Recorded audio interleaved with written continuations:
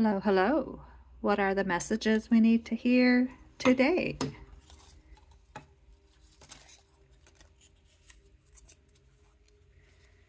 They're in your life so you can change, not so you can change them.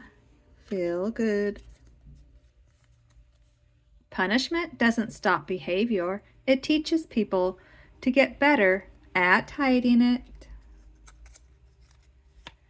The greatest gift you can give another person is your own happiness. I think it's beautiful the way you sparkle when you talk about the things you love. Until we become aware of our unhealthy patterns, we must first become aware they are there. Then we can make steps for change. The foods you consume affect your moods as well as the clarity of your thinking. Be silent if you don't know the full story. Repeat after me. I'm about to walk into the greatest season of my life.